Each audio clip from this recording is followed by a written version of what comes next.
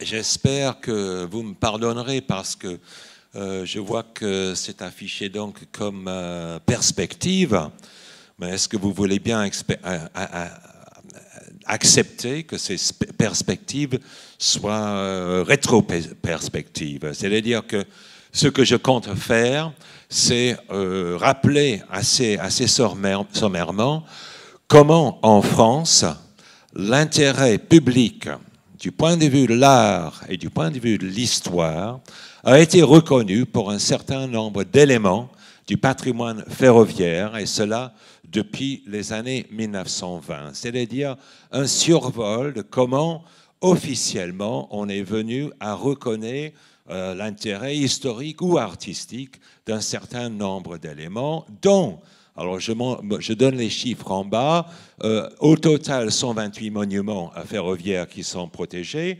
Et parmi ces 128 monuments, 61 euh, gares. Euh, les autres monuments étant bien évidemment des viaducs, des rotondes, des tunnels, etc. Donc, c'est un petit, un petit rappel donc, de ce processus de patrimonialisation euh, simplement un mot sur le chiffre de 128 monuments ferroviaires. Euh, parfois, euh, c'est un peu difficile à comptabiliser combien de monuments historiques un monument peut cumuler plusieurs arrêtés de protection ou un seul arrêté de protection peut aligner plusieurs éléments ferroviaires. Ce n'est pas, pas du tout une science exacte, nous allons le voir. Simplement pour rappeler également que sur le site de Rail et Histoire, vous avez des détails un peu plus euh, développés sur ces différents euh, éléments ferroviaires qui sont protégés. Comme vous le voyez également, euh, ces éléments se trouvent dans toutes les régions françaises, c'est les anciennes régions, sauf justement Guadeloupe, Martinique et Guyane, mais par ailleurs, les anciennes régions qui vont encore diriger un peu ma, réflexion euh, toujours. Euh, il y a une répartition importante euh, sur le territoire national. Hein. Alors, je vais là. Le, je commence par cette photo. Euh. Je, m'excuse pour le directeur d'Austerlitz qui ne voulait pas des photos sépia. Hein. Mais euh, donc, c'est dans le dossier de protection MH du premier monument ferroviaire qui a été protégé en France, qui est le tunnel euh, du, mont. tunnel du mont Fréjus, ce qui est intéressant, c'est que lorsqu'on l'a protégé, on l'a inscrit en 1926 et lorsqu'on l'a inscrit, on, s'attendait déjà à ce que ce monument disparaisse par les mouvements de la montagne. C'est entrée du tunnel qu'on voit mieux ici dans une carte postale d'époque. Euh, on s'attendait à sa disparition. In fine, en 1977, on a déplacé ce monument euh, pierre par pierre. C'est un monument donc qui commémore le percement de ce tunnel entre 1857 et 1871. Euh, ce monument-là euh, se trouve déplacé avec en outre une locomotive qu'on a trouvée en Italie, qu'on a rachetée pour mettre devant le, devant le monument. Donc voilà, c'est un petit peu déjà une entrée en matière comme quoi euh, cette histoire de protection des monuments ferroviaires, euh, l'après-protection est quelque chose qui est loin d'être certain. Euh, c'est le cas de la deuxième protection, historiquement parlant, qui est intervenue en 1938 pour cette gare qui est l'ancienne gare de Lyon-Saint-Étienne, qu'on a, voulu protéger en 1938 pour commémorer un tout petit peu l'importance de ces premières lignes ferroviaires entre Saint-Étienne et Lyon. Hein. Euh, en revanche, au lendemain de la Deuxième Guerre mondiale, en 1954, on a estimé finalement que c'était une gare d'une architecture assez médiocre, d'un intérêt historique assez secondaire, je, cite, et qu'on euh, on pourrait très bien la faire disparaître pour euh, construire ce qu'on voulait construire à l'époque, c'était une gare routière. Hein. Et donc ce monument-là a bel et bien disparu. Comme quoi, la protection au titre des monuments historiques euh, n'est pas une garantie nécessairement fiable de survie. Il faut attendre ensuite les années 1960 pour voir de nouvelles protections ferroviaires. Dans le cadre, je les appelais la liste d'André Malraux.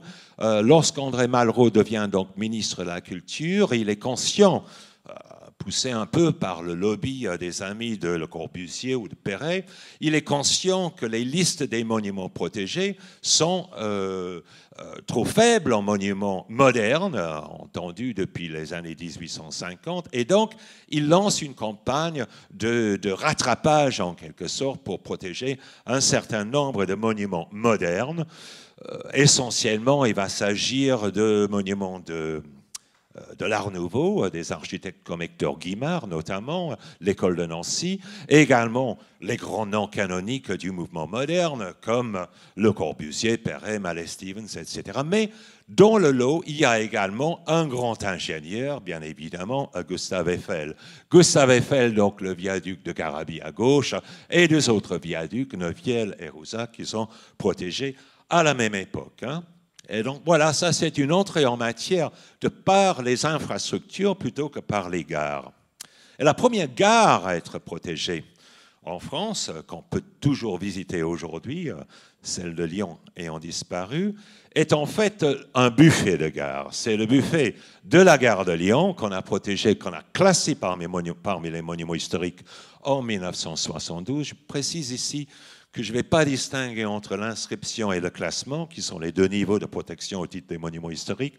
Euh, les deux types de mesures ont pour objectif de préserver le patrimoine pour la postérité et les nuances administratives entre les deux, euh, on n'a peut-être pas besoin de s'attarder là-dessus. Donc, classer parmi les monuments historiques, c'est quelque chose qui figure sur la carte du restaurant, le train bleu, vous connaissez, qui figure sur l'addition aussi.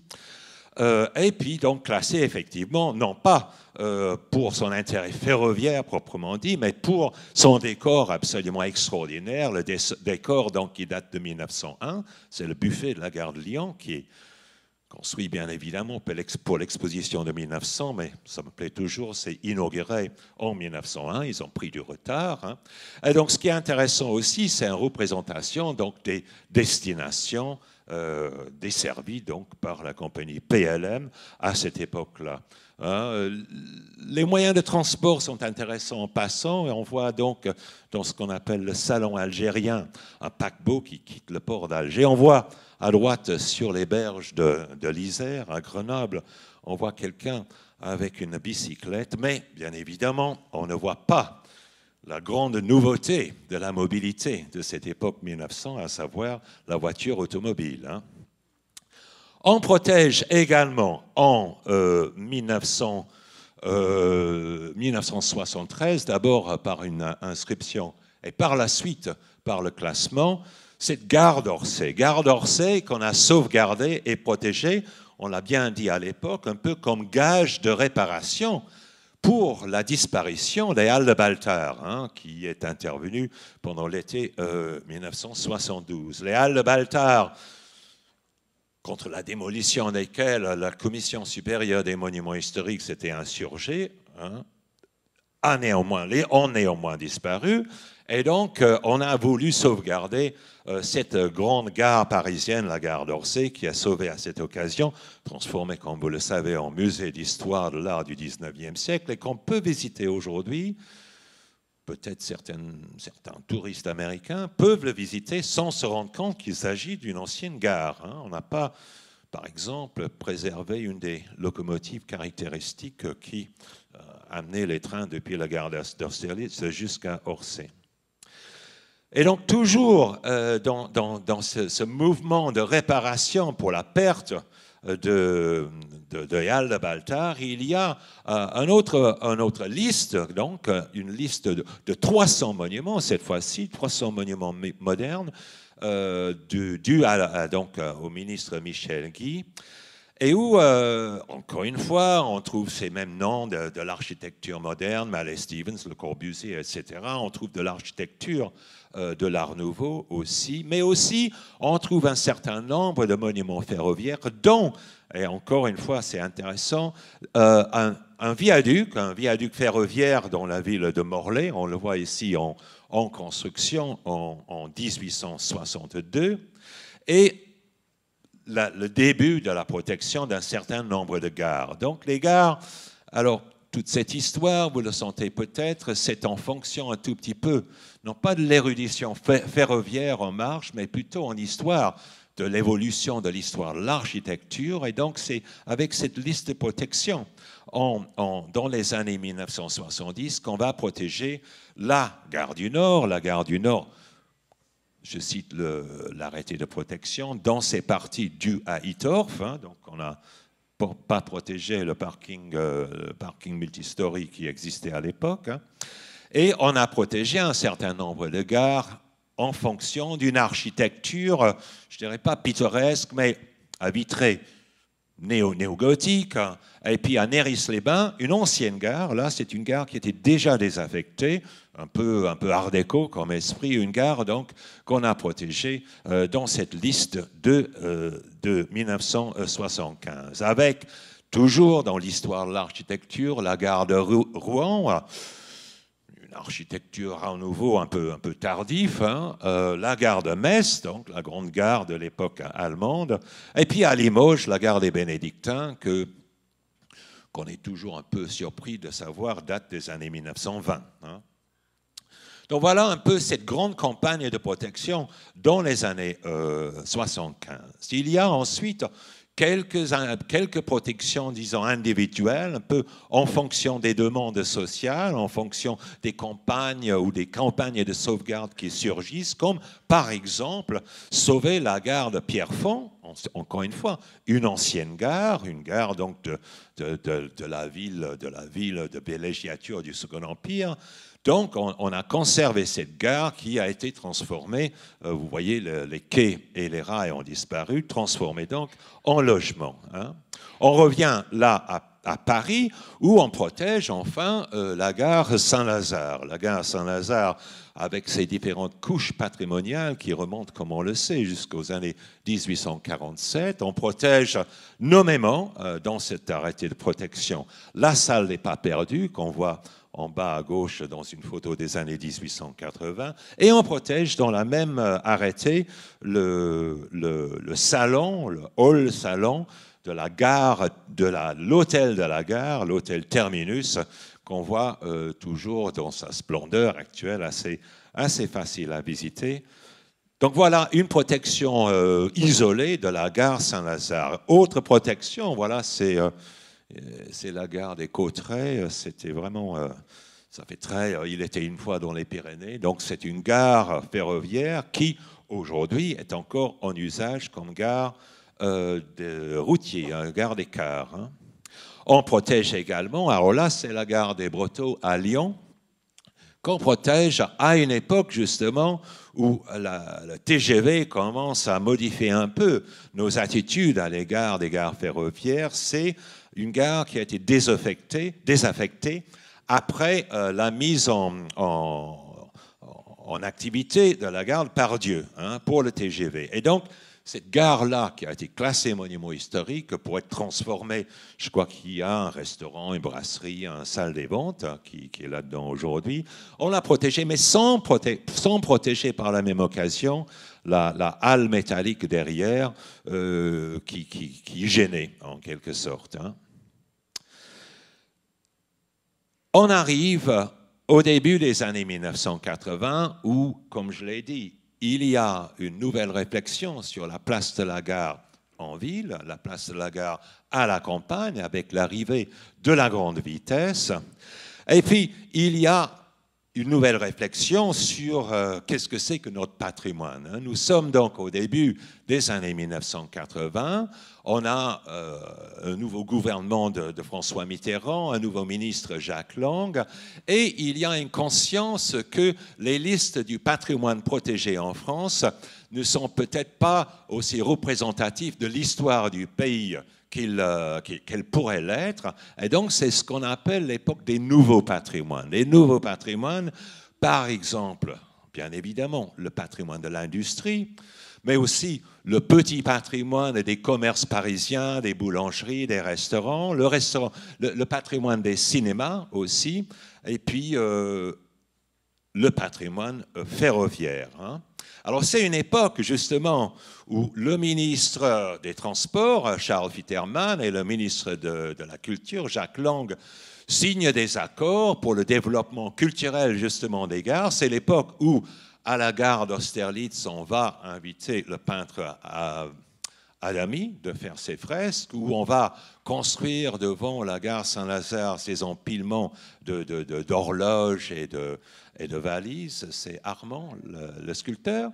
Et donc, il y a déjà cette tentative, une tentative d'avoir une démarche un peu cohérente sur la protection du, du patrimoine ferroviaire. Et donc, il y a un inspecteur des monuments historiques, Jean-Claude Aura, Jean-Louis Aura, qui va, euh, avec euh, des consultations de ses différents collègues euh, dans les régions, constituer une liste d'éléments ferroviaires qui pourraient bénéficier d'une mesure de protection. Et donc cette liste, environ 80 sites au total, sont discutés par la Commission supérieure des monuments historiques en 1984 et donne lieu à toute une série de protections. Alors les 80 ne passent pas et il y a une réflexion sur les critères, mais l'un des critères importants, c'est l'accord du propriétaire, l'accord de la SNCF. Et l'accord de la SNCF n'est pas acquis à l'époque pour des gares dont la désaffectation est déjà envisagée. Vous voyez, alors euh, M. Aura propose par exemple une mesure de protection pour la gare de Montoire, au titre de quelque sorte lieu de mémoire, un lieu de mémoire donc de la, de la dernière guerre, le lieu où justement euh, Pétain et Hitler se sont rencontrés au début de la guerre. Et Montoire, donc, c'est une gare qui a une place dans l'histoire tragique de la France, mais euh, la SNCF annonce, cette gare-là, sur une ligne qui n'est pas très desservie, on va désaffecter cette ligne, donc on ne veut pas de cette protection-là. Donc on protège en 1984 une sélection d'éléments ferroviaires avec le feu vert de la SNCF, c'est-à-dire des, monuments qu'on peut protéger et pas nécessairement les monuments qu'on aurait dû protéger. Il y a toujours ce débat dans la protection des monuments de qu'est-ce qui va se passer après si on n'a pas de projet, s'il n'y a pas de, de, méthode d'interprétation déjà envisagée, on va avoir des ruines sur les mains et donc la protection MH est un peu euh, craintif devant, devant ces risques. Hein. Mais il y a malgré tout donc une importante série de protections ferroviaires en 1984, à savoir au total, donc il y a 17 gares, une douzaine de viaducs, il y a quatre rotondes, il y a trois têtes de tunnels, deux funiculaires et un château d'eau et une maison de garde-barrière faut pas oublier, on, en a parlé tout à l'heure, qu'il y a, euh, en dehors de, de, la nouveauté de la réflexion autour de la grande vitesse, il y a un certain effervescence autour des études ferroviaires et notamment le temps des gares, cette exposition à Beaubourg qu'on a citée, qui a beaucoup fait pour mettre euh, l'histoire ferroviaire et l'histoire de ces lieux qui sont le gare euh, devant le public. Et donc on va protéger, alors là je montre simplement une sélection des, des, des, des gares qui ont été protégées en 84, Colmar, hein, euh, Strasbourg, avec en bas, vous voyez ce que Strasbourg est devenu donc aujourd'hui depuis son, son encapsulation, je ne sais pas trop bien comment dire, mais à l'intérieur, la façade de la gare est toujours, toujours là.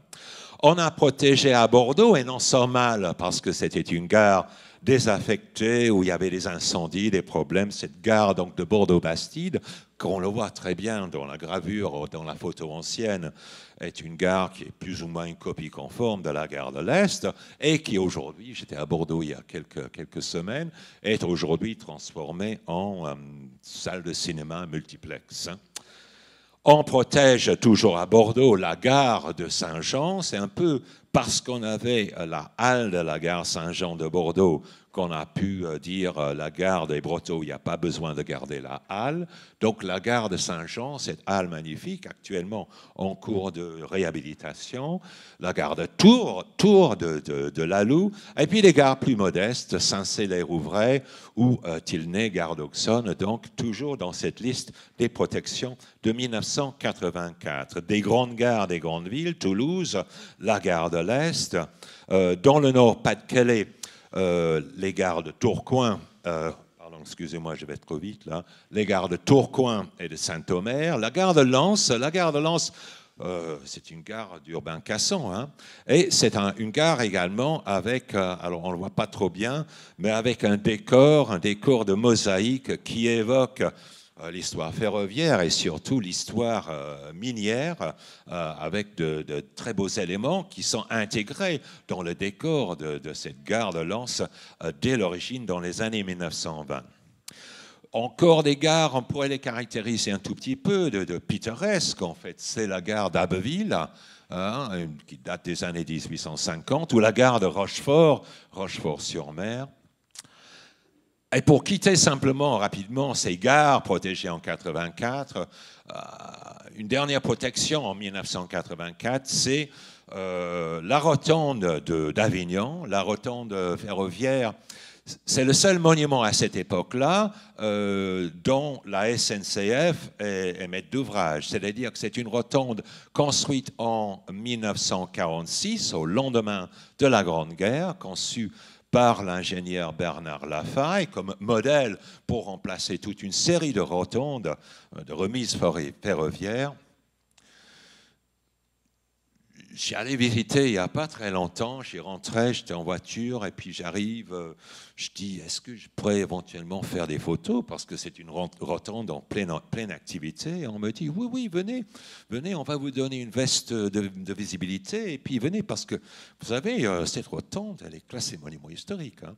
Bref, il y avait une conscience sur place de l'importance de cette rotonde qui, qui est assez surprenant, mais qui n'est pas surprenant dans ces lieux euh, parisiens de gare et connexion, où l'importance et l'attachement du public et des agents à l'importance de, ce patrimoine ferroviaire, mais sur place à Avignon, c'est quelque chose qui est partagé aussi.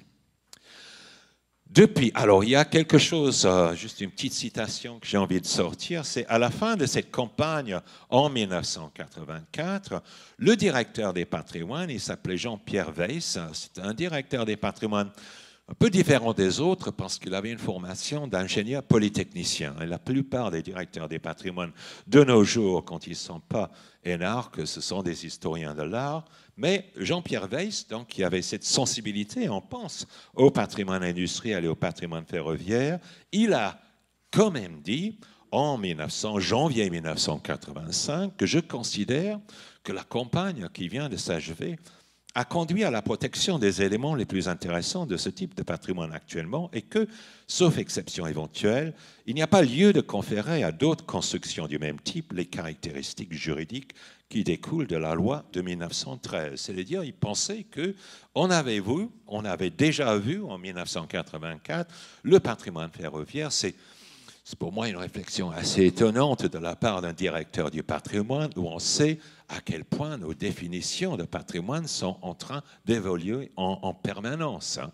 Et bien évidemment, depuis 1984, il y a eu d'autres protections de gares, mais dans des contextes différents, c'est-à-dire qu'il n'y a jamais eu de suite euh, une campagne concertée sur le patrimoine euh, des chemins de fer, mais il y a eu euh, quand même des, des protections intéressantes bon nombre d'entre elles ont en quelque sorte des rattrapages pour des oublis dans la liste de 1984. Je pense notamment à une gare qui, nous est chère, qui est la, actuelle gare d'Enfer Rochereau, la gare du métro et du RER, e mais qui est la plus ancienne gare parisienne, la tête de ligne de cette ligne expérimentale euh, de ligne de Sceaux, et donc protégée en 96. Euh, hein.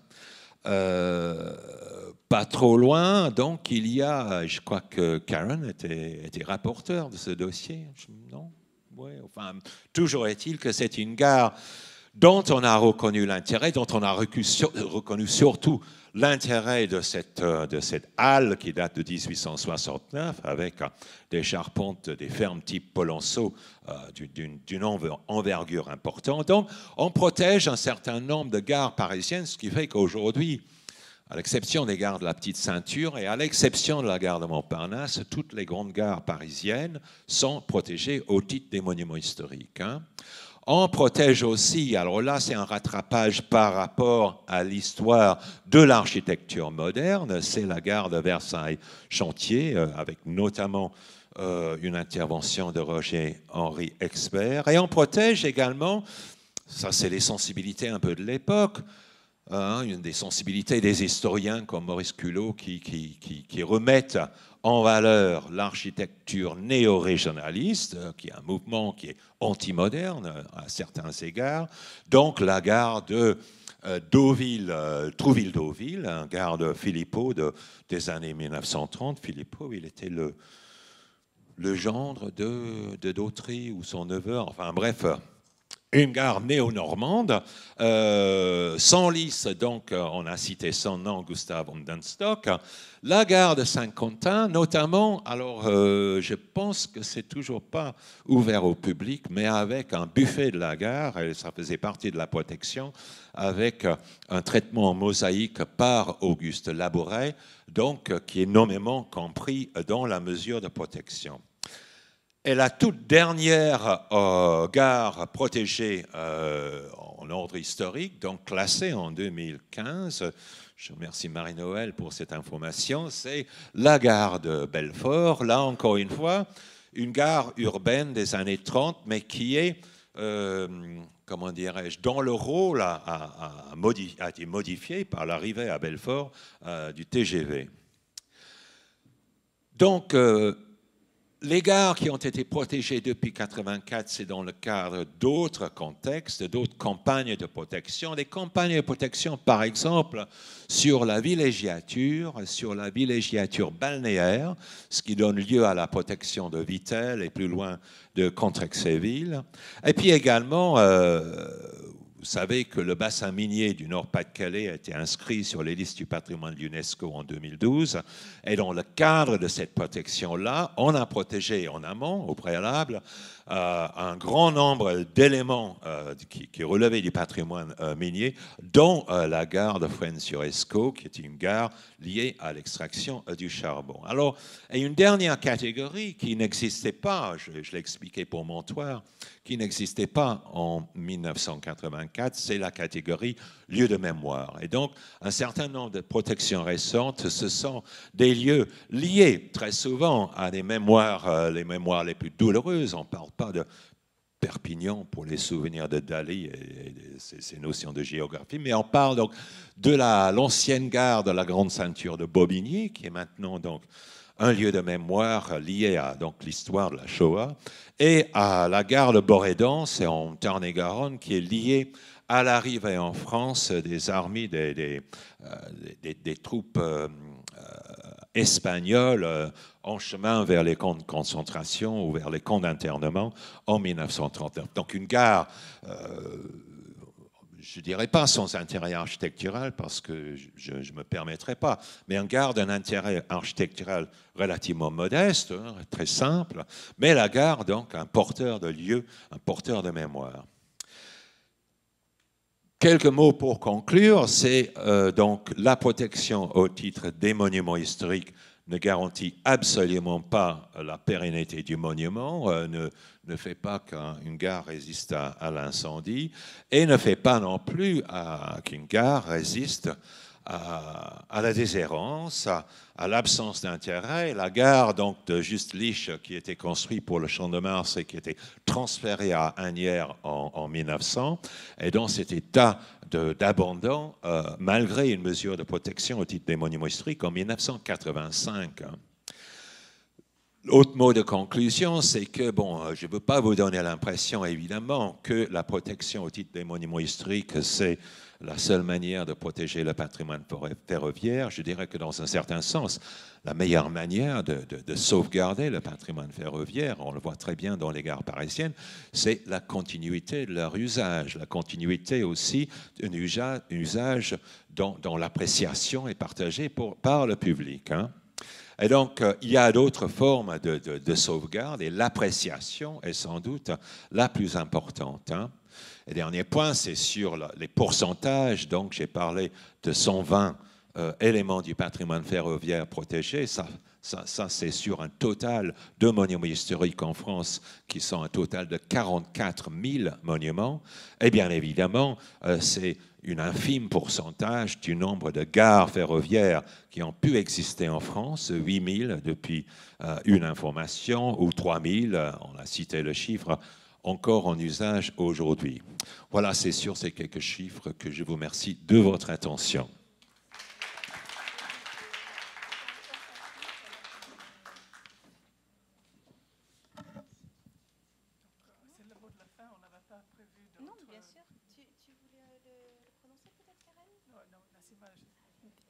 Merci Paul Smith, merci beaucoup pour euh, cette intervention. J'ai énormément découvert euh, de gares, j'en connaissais une toute petite partie et je crois que vous nous avez révélé euh, un magnifique catalogue de styles et de types. Merci encore, cette présentation vient clore une journée je crois, relativement riche, relativement intense. Merci à vous tous. Euh, c'était la troisième session du séminaire sur les innovations. Je crois qu'on a parlé d'innovation aujourd'hui, euh, à travers tous ces exemples, et, et que nous avons voilà, toucher des thématiques larges autour de l'art, de la créativité, du patrimoine, des œuvres, du territoire, des initiatives culturelles. Alors autour de ces objets, vous retrouverez prochainement sur le site de la Chergare les présentations que les auteurs accepteront de, diffuser bien sûr. Nous les mettrons sur le site de la Chaire et également sur le site du PUCA. Euh, nous vous mettrons aussi à disposition les captations vidéo session par session, ainsi que un résumé si vous voulez, des interventions avec les, meilleurs moments, de manière à ce que voilà, vous ayez quelque chose de plus euh, euh, utilisable peut-être, si vous le souhaitez, dans le cadre de présentations, de cours ou autres. Il me reste à vous remercier du fond du cœur. J'étais avec Gare et Connexion euh, tout à l'heure lorsque je me suis absentée, et les uns et les autres avaient souligné l'intérêt que représentait pour eux ce mélange de vision, ce mélange de, sensibilité, de compétences également, sur lequel repose, reposait ce séminaire, le pari de ce séminaire. Moi, fais effectivement euh, euh, le constat que ce type de séminaire, qui était un pari complet, puisqu'on sortait de séminaire doctoral très, très interne finalement au monde académique, ce pari a marché parce que les questions, les brassages, les hybridations, les échanges ont été extrêmement riches et ils ont apporté aux thématiques euh, sur lesquelles nous étions en train de travailler et ils ont enrichi les visions des uns et des autres et donc c'était l'objectif. Merci Paul Smith, merci Karen, merci Jean-Baptiste, à tous ces animateurs aussi qui nous ont permis euh, de faire vivre ces sessions. Merci beaucoup, bonne fin de journée.